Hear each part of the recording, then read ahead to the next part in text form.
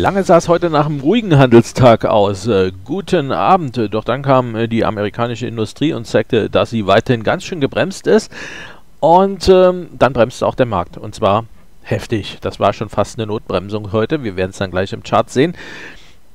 Uh, USA, äh, der US ISM Einkaufsmanager Index fürs verarbeitende Gewerbe ist äh, im September noch ein Stückchen weiter gefallen als schon im August, nämlich auf 47,8 Punkte. Das war doch eine ziemlich herbe Enttäuschung für die Marktteilnehmer. Ähm, das war das, das zweite Mal in Folge, dass der Einkaufsmanager Index unter dem Expansionswert 50 liegt. Das bedeutet also, die US-Wirtschaft wächst aktuell auch nicht mehr. In Deutschland sah es richtig belämmert aus, 71,7 äh, 41,7 Punkte, allerdings ein bisschen besser als noch die erste Lesung. In äh, Deutschland und der Eurozone haben wir ja immer schon eine Vorabschätzung und dann kommt eben ähm, am 1. des neuen Monats ähm, die endgültige Lesung, auch in der Eurozone leicht nach oben. Aber wenn wir mal ganz hinten gucken, das sind die Zahlen vom Vormonat, dann müssen wir eben feststellen, dass auch in Deutschland und der Eurozone das ähm, verarbeitende Gewerbe noch mehr schwächelt als noch im äh, Vormonat. Das ist alles nicht so richtig gut. Was man vielleicht nochmal zu den USA sagen sollte, ist, dass die Einzelkomponenten äh, ähm, ausweisen, dass äh, vor allem auch die Beschäftigung auf dem Rückzug ist. Ähm, das könnte also sehr interessant werden. Also wenn Donald Trump ähm, nichts einfällt, dann könnte es durchaus sein, dass seine Wiederwahl doch unter gar keinem so guten Stern steht, wie das bisher aussieht. Bis jetzt war es ja so, dass die US-Wirtschaft extrem äh, brummte und äh, deswegen eigentlich äh, die Amerikaner gesagt haben, was wollt ihr eigentlich? Äh, der Trump macht es doch gut und ähm, wir haben alle Jobs und ähm, na klar wählen wir ihn wieder. Sollte sich äh, das, was hier im Einkaufsmanager-Index zurzeit zu sehen ist, sollte sich das äh, mehr verfestigen, dann könnte es durchaus sein, dass die USA auch in eine Rezession schlittern könnten. Das käme dann wahrscheinlich für Donald Trump zum falschen Zeitpunkt. In der Eurozone heute auch der Euro, äh, der Verbraucherpreisindex, nach dem, was wir gestern gesehen haben, war da nicht zu erwarten, dass es da eine große Überraschung gibt. Die Kernrate 1,0 Prozent. Weiterhin im Vergleich zum Vorjahr, das ist nicht viel und wird die EZB auf jeden Fall mal nicht die Geldpolitik straffen lassen. Äh, da wird die EZB weiterhin sehr genau hinschauen, ob eventuell sogar noch mehr möglich ist. Äh, Mario Draghi hat zumindest mal in dieser Woche erneut bekräftigt, dass die EZB voll handlungsfähig ist. Schauen wir mal. In äh, Japan, Herstellungsindex ähm, über den Erwartungen, auch der Dienstleistungsindex war über den Erwartungen allerdings schwächer als im ähm, letzten Quartal. Insgesamt auch hier keine guten Zahlen. Immerhin waren die Arbeitsmarktdaten in Japan äh, ziemlich äh, gut. In den USA gibt es übrigens auch Arbeitsmarktdaten. Im September kann man schon mal, äh, äh, am, am Freitag die Non-Farm Payrolls, da kann man schon mal mit großer Spannung hinschauen. In der Schweiz gab es die Einzelhandelsumsätze die im Vergleich zum Vorjahr jetzt gesunken sind. Das ist nicht gut und der Einkaufsmanager-Index war auch alles andere als äh, gut. Trotzdem wurde der Schweizer Franken heute Nachmittag dann gesucht. Klar, sicherer Hafen werden wir dann auch sehen. Das äh, BIP aus Kanada stagnierte im Juli, spricht jetzt auch nicht dafür, dass wir gerade Hochkonjunktur weltweit sehen. Und in Australien gab es eine Zinssenkung. Das war so erwartet worden, aber die Notenbank hat, äh, die Reserve Bank of, New, äh, of, Australia hat wohl keinen Zweifel daran gelassen, dass auch weitere Maßnahmen folgen könnten. Auf alle Fälle ist der australische Dollar auch deutlich gesunken. Wir fangen natürlich mit dem DAX an. Der hat heute früh nochmal kurz bei der 12.490 angeklopft und dann ging es aber eben ab 16 Uhr mit einem Riesenhieb hinunter erst unter die 12.400, inzwischen auch 12, äh, unter die 12.275. Da ist noch so ein bisschen Gewölk, aber ein Test 12.150 muss wohl ins Auge gefasst werden. Darunter wäre dann die 11.985, also knapp 12.000 das nächste Ziel. Und ich meine, wenn man das mal sieht, wir, wir sind hier ja in einem Zug ähm, von Ende August bis Mitte September Richtung 12.490 äh, gezogen, hatten dann schon mal eine kleine Korrektur, die an der 12.150 eben ähm, aufgehalten wurde und brechen wir diesmal also unter diese 12.150 und würden das nachhaltig äh, gestalten, dann bin ich mir nicht sicher, ob die 11.985 hält. Dann könnte es hier durchaus einen äh, stärkeren Abverkauf äh, geben. Wir schauen uns das auch mal im äh, 4-Stunden-Chart an, da sieht man das auch sehr schön. Wir haben jetzt oben einen Dreifach-Top hier an der 12.490. Sind wir heute also zum dritten Mal nicht drüber gekommen. Und dann ging sie ab, die Marie. Äh, die 11.845 dürfte nochmal ein sehr wichtiger Support sein und dann könnte es schon bis 11.470 gehen. Ähm, ja, also Schauen wir ganz einfach mal. Also wenn die 11.845 äh, nicht hält, dann wird es in diesem Jahr wohl auch nichts mit Jahresendrallye, könnte ich mir vorstellen. Denn dann könnte es hier doch zu, einem großen, zu einer großen Umkehr kommen und dann könnten wir noch viel tiefere Kurse vielleicht sehen. Ähm, vieles wird davon auch ein bisschen abhängen, was in der nächsten Woche bei den Handelsgesprächen zwischen den USA und China herauskommt. Viele erwarten da nicht allzu viel.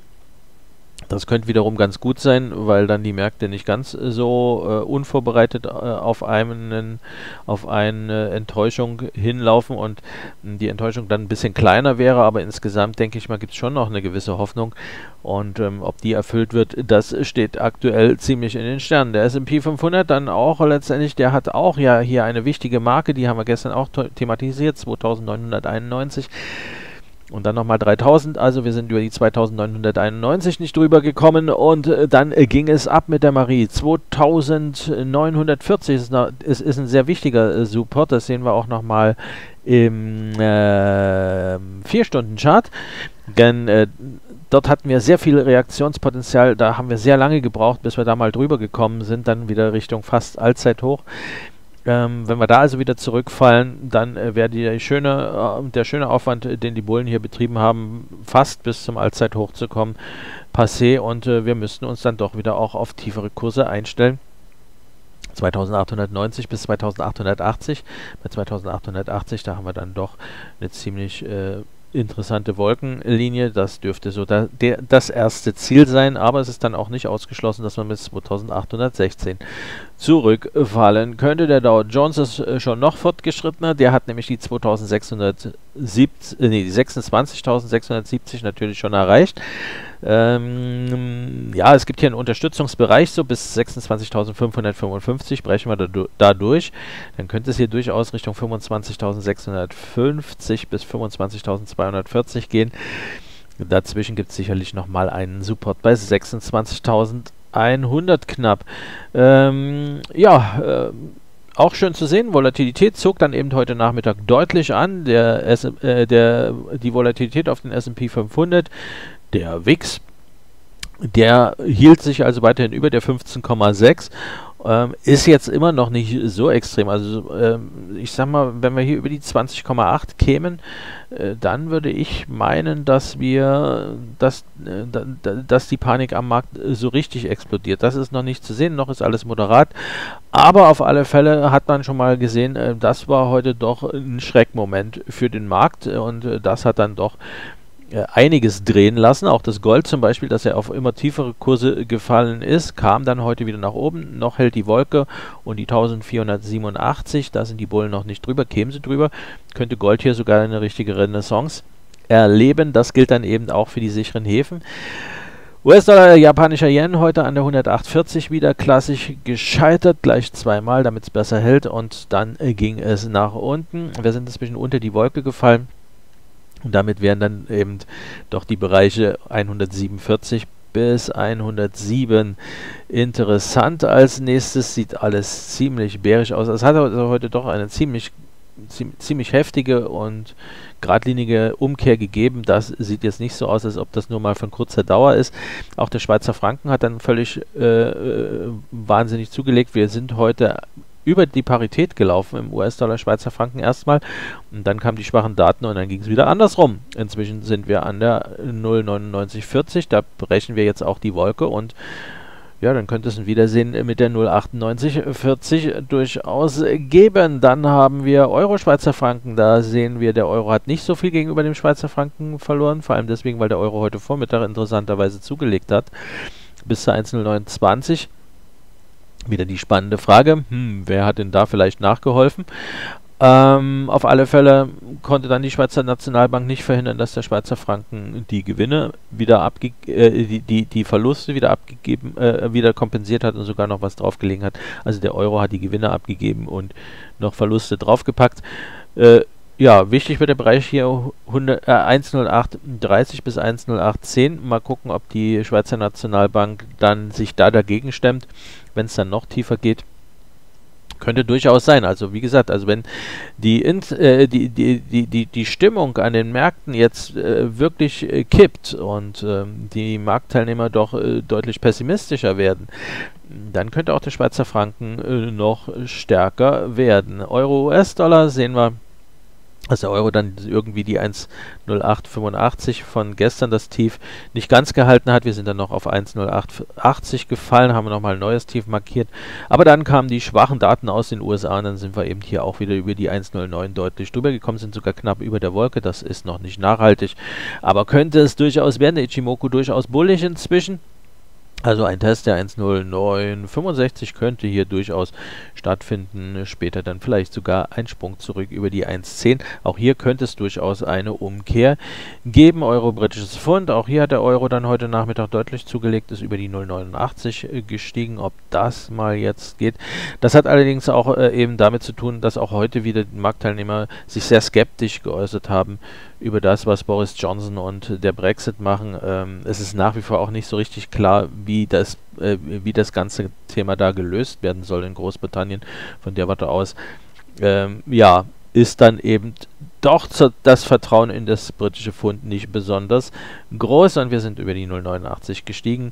Wichtigster Widerstand hier dann bei 90 Pence auf alle Fälle mal zu sehen. Cable hat dann entsprechend auch abgegeben, hatte sich ja versucht nochmal hier um die 1,23 irgendwie zu stabilisieren, aber ist dann heute eben auch zurückgefallen. Die äh, amerikanischen Daten haben dann immerhin verhindert, dass man auch gleich noch durch die 1,2215 durchgereicht worden ist. Der australische Dollar, da ist das, ähm, wie gesagt, äh, als die Daten kamen, hat, das ist hier der 4-Stunden-Chart, hat er Aussie mal kurz nach oben reagiert, ähm, weil wie gesagt, es war ja eigentlich erwartet worden, die Zinssenkung, aber das Statement war dann doch so, dass man weitergefallen ist und dann sogar mal kurz unter das Jahrestief gefallen ist bei 0,66 ähm, 78. Das sehen wir dann sehr schön im Monatschart. Ähm, da haben wir heute im Prinzip, wenn man so will, ja, ein neues Elfjahrestief gebildet und wir dürfen jetzt Wetten annehmen, ob wir denn äh, die 60-Cent-Marke sehen. Der Ichimoku, naja, der orangefarbene Kijun zeigt zur Seite, das könnte dafür sprechen, dass vorher es dann doch nochmal ein bisschen überverkauft wird und ähm, das nicht in einem Zug zu schaffen ist, wäre ja auch noch ein ganz schönes äh, Stück. Das wären nochmal 700 Pips. Ähm, das ist ja kein äh, Pappenstiel. US-Dollar, kanadischer Dollar, da ging es heute erst nach oben, dann kamen auch noch schwache kanadische BIP-Zahlen. Hm, ja, da konnte man eigentlich schon damit rechnen, dass wir hier irgendwo die 1,3315 mal besuchen. Und dann kamen aber die US-Daten und dann ging es wieder nach unten. 1,3230. Hier wichtiger Support bricht der ja, dann könnte es hier durchaus Richtung 1,3125 wieder gehen. Dann könnte der Luni hier tatsächlich zu Stärke auflaufen. Schauen wir mal. Ähm, WTI Crude Oil. Ähm, die OPEC hat heute gemeldet, dass sie im äh, September täglich 1,6 Millionen Barrel Rohöl weniger produziert hat als im Monat davor. Das kam dann bei den Märkten so an, dass es so ja, ja, eine ne, ne leichte Erholung gegeben hat und dann kamen die US-Daten und dann stand fest, das macht nichts, dass die so wenig produzieren. Wir brauchen eh kein Öl für die Wirtschaft. Ähm, 52,95, ein sehr wichtiger Support, sieht man vor allem sehr schön im äh, 4-Stunden-Chart. Bricht der, könnte es auf 50,55 Dollar zurückgehen. Das Chartbild hier auch sehr, sehr bärisch. Ähm, was gab es ansonsten heute noch? Schwellenlandwährungen waren heute unter Druck, zum Beispiel hier Euro, türkische Lira plus 1,8% und die türkische Lira war nicht die einzige. Auch der südafrikanische Rand wurde ordentlich abverkauft. Hier im US-Dollar äh, südafrikanischen Rand zu sehen. Hier sind wir nun wieder fast an der 15,50, nachdem es ja ähm, in der ersten Hälfte des September eine, ziem äh, eine, eine, eine, ziemliche Korrektur gegeben hat. Die ist inzwischen fast wieder zurückgekauft äh, worden und Bitcoins haben sich auch ein bisschen stabilisiert. Da könnte man sagen, dass da bei 7750 ein Support sich jetzt findet mit einem Doppelboden. Jetzt müsste allerdings müssten Bitcoins noch die Initialzündung kriegen und mal wenigstens an die 9475 ranlaufen. Das ist noch nicht so passiert. Würde das passieren, kämen wir da drüber, dann wären die Bullen erst einmal wieder in der Vorhand. Naturgas hat auch ordentlich abgegeben. Wieder, ähm, da ist auch letztendlich die schöne Rallye von Ende August an. Die ist komplett auch schon wieder fast abverkauft. Heute hat nochmal die 2,25 gehalten. Nächster Stop wäre dann äh, 2,12. Blick auf morgen. Habe ich jetzt hier überall Mittwoch geschrieben, na das ist schön. Also morgen ist tatsächlich Mittwoch, ähm, am 3. Oktober ist Donnerstag und am 4. Oktober Freitag. Naja, schauen wir erstmal auf den morgigen Tag, da ist wieder in China Feiertag, wie die ganze Woche.